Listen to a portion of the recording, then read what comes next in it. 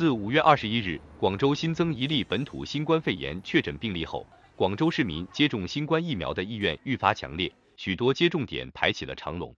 五月二十六日，记者来到广州市第十二人民医院新冠疫苗接种点，看到市民有序排队，医护在现场耐心回答市民有关疫苗接种的相关情况，现场秩序井然。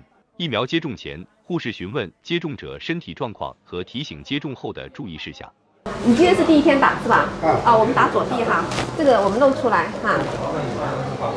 嗯，它对，放松哈。然后我们打完之后一周内不要吃这些呃辛辣的东西，不要剧烈运动，打完休息三十分钟才离开哈。记者了解到，接种疫苗后在留观区等候的市民普遍认为身体没有感觉不适，接种疫苗尽快建立人群免疫屏障。能更好的防控疫情，感觉还是蛮轻松的吧，因为就感觉扎的那一下也不是很痛，然后就就轻轻的叮了一下，也还没有自己掐自己疼，过程还是很快的，就大概从进去到出来一分钟吧，不到，就很快。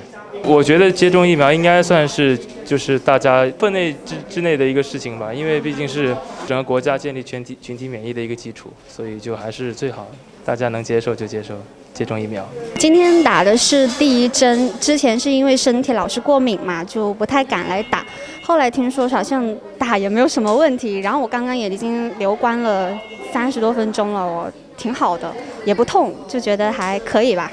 然后为了这个疫情防护常态化，然后也是为了保护自己吧。因为为了个人的健康或家庭的健康或社会的健康，所以呢，我年龄大也要。呃，安全比较安全，在中国不用担心，我就要出出差要回国，就所以上飞机要带秒的。广州市第十二人民医院门急诊护士长曹丽告诉记者，面对近日来接种人员增多的情况，广州市第十二人民医院启动相应预案，保证接种工作有序开展。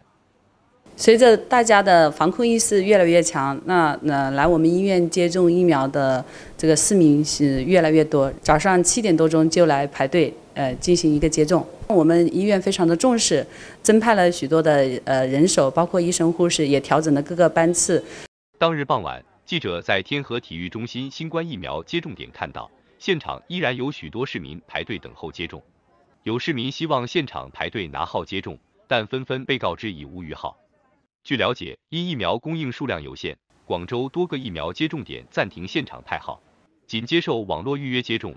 居民需凭预约成功短信或预约二维码进场接种。现场排队时做好防护措施，戴口罩，保持距离。